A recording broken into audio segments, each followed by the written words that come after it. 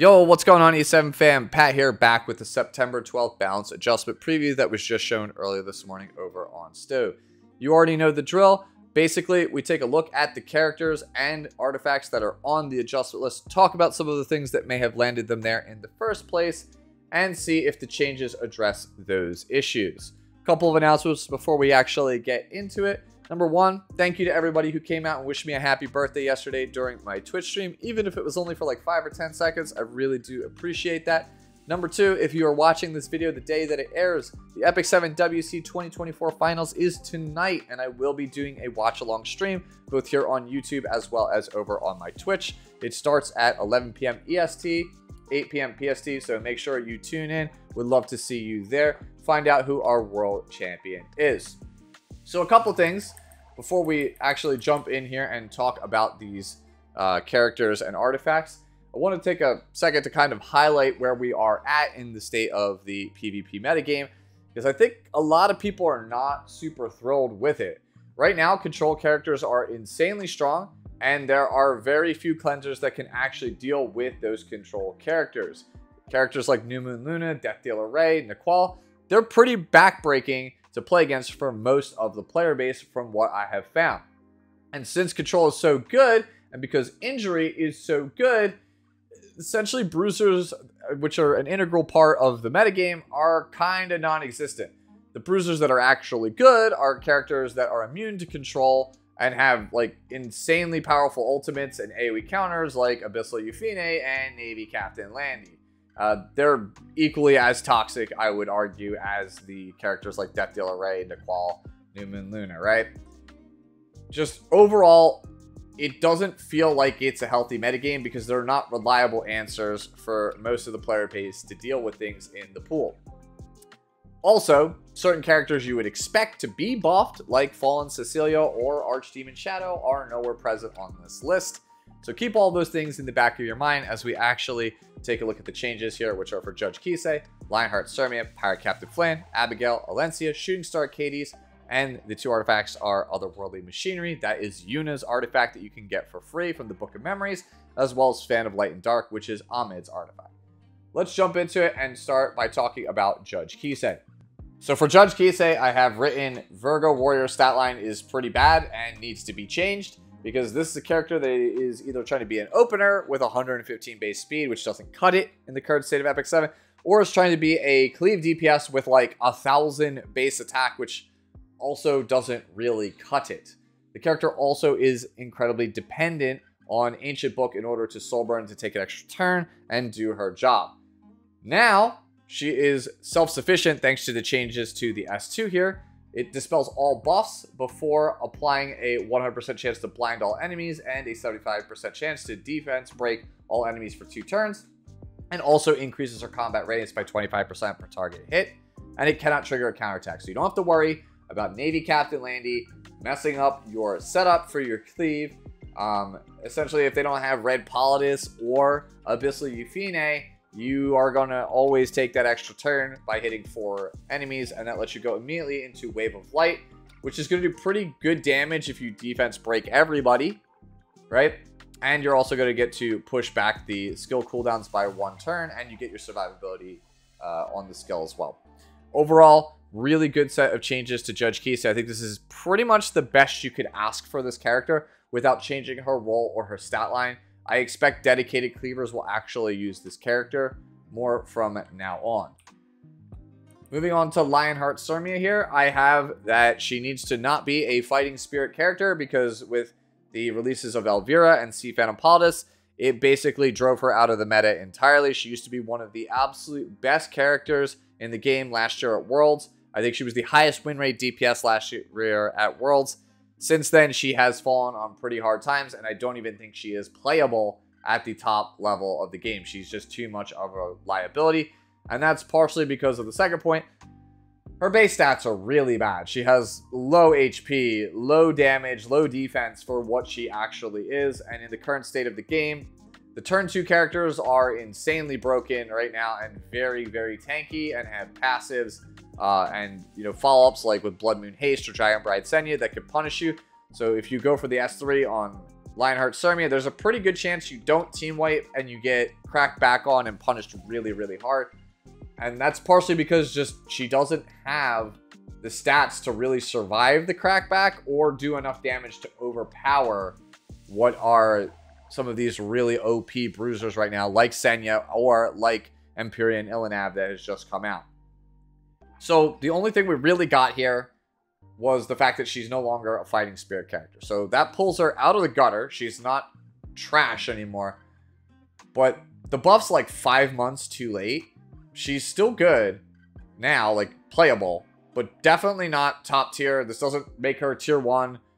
Probably not even tier two. Like if I'm being honest, this like puts her probably like in the same viability spot as like Rimuru, where you'll pick her once in a while and maybe it works out, but not exactly like the best character, right? Maybe I'm wrong, but overall, this just doesn't seem like it's enough. I think until they adjust her base stats in some meaningful way or give her free stats to supplement that, it's still going to be a little bit rough for Lionheart. Cermia, I think they just wanted to do something nice for her because everybody was super pumped about the actual skin. Uh, also, now that she's not a fighting spirit character and she's a cooldown based character, she has worse synergy with characters like Sea Phantom Politis or Conquer Aloyus, the characters with the guaranteed dual attacks, because you used to be able to essentially kind of skip ahead and get more procs of I am the victor in a game as a result. It's not really there anymore. Next up is Pirate Captain Flan, and I have here written rework, and that's because the character is just, it's not her meta, right? She's not one of these like fast control characters that kind of cleans up very quickly. Uh, she's more of a slower, more methodical, grind you out control character like Solitaria. Solitaria also not super great. She's mostly picked just because of her focus denying passive. But that style of gameplay where you grind people out with like stuns, that's not particularly very strong right now because the cleansers that we do have are insanely strong versus that style of gameplay. Whereas the characters that are strong in the control like setups now are like Death Dealer Ray, which current cleansers aren't super effective against, and those characters do their job better uh, and win faster, more consistently than the grindy ones like Flan or Solitaria do. So that leads me to believe that Pirate Captain Flan needs some kind of rework because that style of gameplay, it's pretty much absent from top level. So what we have here, I think, is a set of changes that not everyone is going to be happy with, but I do think make the character very good in these long, grindy turn to standard versus standard matchups. So previously, S1 would steal a buff, which could get through immunity, and then bomb the target with the artifact, detonate it, cool, and you could soul burn for the cost of 20 souls to take an extra turn, which lets you multi-bomb people or kind of cycle into your S3 faster. There is no doubt that the soul burn change that we got which increases the effect chance of her new S1, which is now a defense break. That is definitely a worse soul burn than what we had. But I would argue the new S1 is stronger than the old S1, especially when you take a look at the passive. Because with the new passive, you can essentially still steal immunity. It just comes later on. You can't just do it first turn. But bombs inherently do big damage because they ignore a ton of your opponent's defense. If you defense break somebody and put a bomb on them and then detonate it, it does a massive amount of damage. And I think a lot of people, from what I've seen online, are completely overlooking that. So this character actually is more of a DPS with this S1. Instead of stealing stuff and kind of chipping them out with bombs, the chip strategy doesn't work in a metagame where everything vomits out damage, everything cleanses. So now, instead of doing, you know, oh, I stun two units for like 5 10% of your health, instead it's, oh, you don't have immunity, I chip you out for like 50 to 75% of your life and stun you. That is a big change, in my opinion, and allows her to play kind of the style that she wants to be playing. I think that that is a fairly good change. Now, let's take a look at the rest of what is in the S2. She has 70% critical hit resistance to mirror her sister. I think that is a very flavorful change. You know how I like it when characters uh, kind of have similar skills because they're of the same faction or like the same background. I think that is pretty cool change. I know it's not going to be everyone's cup of tea, but I do think that it is better than the damage sharing effect because Basic history has shown that most of the damage sharing characters like Seaside, Bellona, and stuff, they have essentially fallen out of favor. Like those don't really see too much play. Meanwhile, critical hit resistance on Navy Captain Landy is a bitch and a half to deal with, pardon my French. And it's one of the reasons why she's so good, because she vomits out damage, and she is literally a loaded coin flip that is weighted in your favor. Having Flan have that same passive, really good. Yes, sure, she is going to have some issues against, like, say, Lone Crescent Bellona or, like, Red Ravi, but in a proper team comp, you're going to be able to control those characters anyway, so, like, who cares, right? It's Against everything else, you are probably going to be fine. Giving the Pillage buff now to everybody else means that your whole team can just kind of take over your opponent's buffs and in standard v standard, the person with more buffs usually is the one that is winning the game. So that kind of tips the scales in your favor. She's, again, lends herself to this grindy gameplay style, right? Yes, she gets effectiveness buff. It's not inherently built into the kit. But basically, they want you to essentially use at least one move at the start versus somebody with buffs, and then that gets the ball rolling. And from turn two onwards, Flan, I think, is a significantly stronger character. That's just my personal, honest opinion. She's significantly weaker to things like guaranteed crits and unbuffables, and turn one immunity is a little bit more rough to deal with her for, uh, with. But other than that, I think that she is a lot better at playing the grind game. Maybe I'm wrong. We will see. But I do think that this change could be pretty good. Like considering how everybody was kind of wrong about the Sylvan Sage Vivian boss, myself included, and then like DDR's changes. I'm saying we should at least give this one a chance because at least on paper, Again, bomb versus decreased defense uh, opponents. It's pretty big damage, and uh, I'm willing to give this one a shot. Next up, let's go to Abigail here. So I have here written free stats because essentially the character is just pulled in too many directions. She needs effectiveness in order for her curse to land, for her strip to work. She needs damage in order for the injury on the S3 to do real meaningful damage. She needs to be fast so that that way she can cycle with her S1. And then also she needs to be bulky because if she dies, then you don't get any value out of her S2 passive Blood Banquet. So free stats, I think, is the main thing that the character actually needs. Instead, what we get here, S2 is going to be a dispel all debuffs from the person in the back if they go to a 1 HP and get the vampirism. That's a cool change. Would have liked to have seen a barrier given to maybe, uh, I don't know, Abigail herself, as well as the person in the back, akin to something like Dragon Bride Senya, for those of us who didn't actually get that character. Like, losing 30% of your health to give this buff to them, uh, I don't think that was necessary. We could have probably taken that off and given her a barrier. I would have been 100% okay with that, but apparently not going to get that. And we do get some free stats here on the S3 Scarlet Garden. You get 50% effectiveness on actually using it, so you don't have to really build any effectiveness, and instead you can lean into speed, health, and damage uh, without having to prioritize any ability to actually strip certain characters. So overall, okay set of changes for Abigail in my opinion. Next up is Alencia here. Same thing. I have free stats written specifically along the lines of like how Red Ravi has a guaranteed crit. Because currently, Alencia needs defense in order to actually survive things. She needs health in order to survive and deal damage. She needs crit chance. She needs crit damage. Uh, and then she also needs speed. So like that's a lot to ask for. Like picking four stats, sure. When you start to need like five stats, it gets to be uh, a bit much, especially when the way to play the character is usually on a set like injury that doesn't provide any inherent stats. So what we got here now is a change to her soul burn, and it's a pretty big change. Uh, essentially, Eradicate now is guaranteed to defense break, ignoring effect resistance. This is how you use ignore. Effect resistance is a soul burn, by the way. This is like good design where your bruiser, if they get a turn, they get to just essentially dunk somebody with their soul burn, right? And it's not like, oh, I completely wrecked my opponent's entire team.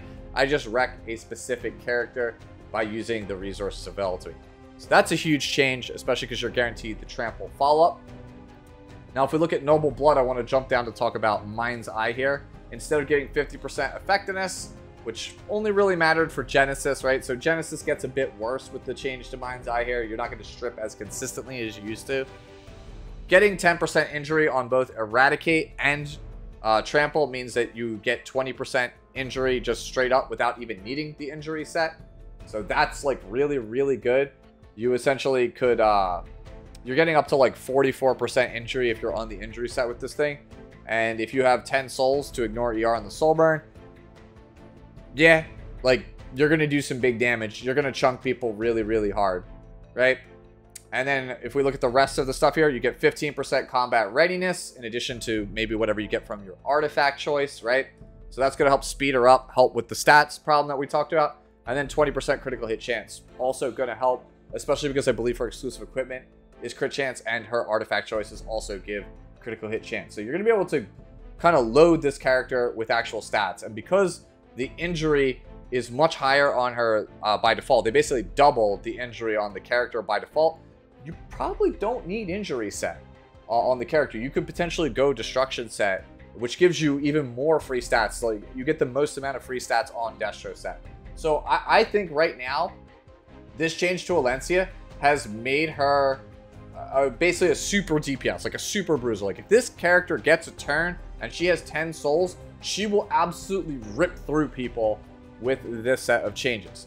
The problem is, it's still a mid-speed bruiser, which means most of the bullshit characters still lock her out of the game. This is why I say keep the metagame in mind.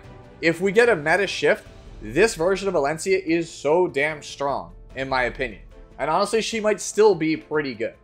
But I think in a world of Death Dealer Ray, in a world of ML Rat, right? In a world of Nahkwol, New Moon Luna, and really fast cleaves featuring BBK, this is probably not enough. If we had had things in this patch that address those things, I think the Silencia change is great. And we're not even done. The exclusive equipment here makes it so that S3 pushes back, which is pretty big. Yeah, you lost some effectiveness from Genesis uh, and Mind's Eye here, right? But for those characters that don't really build ER, this is a pretty big thing. You get to strip all their buffs and throw them back. And remember, Genesis gives you 50% CR, so like hey man, you might be able to actually lap some people with Alencia and put the hurting on them. Like, this is a good set of changes overall for this character. Finally, we have Shooting Star Achates, who all I really have written down here is the fact that I hate the fact that she can essentially stall out RTA games like how Elvira was before her changes with Prophetic Candlestick. Every time I see it on a stream or somebody tells me it happens to them because people are gatekeeping at the end of a season, my heart sinks. I really don't think it should be a thing. I think it is something that you should look into. Prophetic Candlestick keeps causing issues like this. I don't know if the dev team is aware, but you can do it with Shooting Star Achates. Other than that, she needs a rework in a niche because, like, doesn't do anything other than, you know, rope people on RTA and give uh, immortality to Green Yufine to farm ancient coins in Labyrinth. That's kind of it. And that's what this set of changes seems to be because instead of getting random buffs, you get an attack buff, which you can extend with Yufine, and it makes farming coins to level up your rings and necklaces easier. Yeah, sure, whatever. We'll take it. It's not anything amazing. Wrapping up the video, let's take a look at the artifacts. Otherworldly machinery is only really used in hunts, so you either need to give it a new use case or just make it better in hunts. 10% critical hit chance, great. Makes Wyvern easier for people who are trying to build those one-shots, their first one-shot team composition. I'm okay with this, especially because this is a free-to-play artifact you get from the Book of Memories. Cool. Give something for new players to farm in order to make their hunt teams a little bit easier. Fan of Light and Dark, that's Amid's artifact. It's a limited artifact, and it probably should just have percentage increase to 100% on the critical hit damage buff. Lo and behold, that's exactly what it got. So that's everything, right? That's everything in the patch. Overall, I actually think this is a good patch. The problem is, it's not the patch the game needs right now. Like, you made a patch with great changes for characters that honestly need it.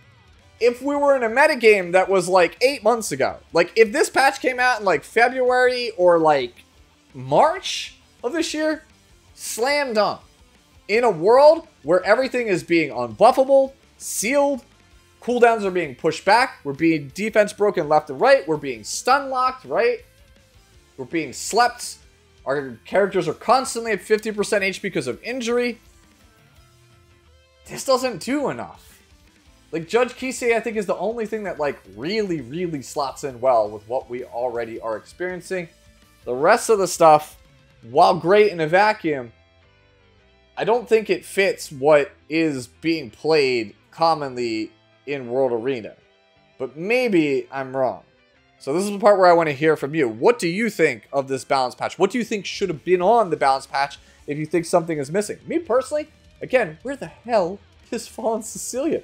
You promoted her for all the worlds. She ain't even here. Ugh. Smilegate, please. Ugh. Anyways, hopefully I'll see you tonight for the E7 WC 2024 finals. And as always, enjoy the rest of your day, the rest of your week, and I'll catch you in the next one. Later.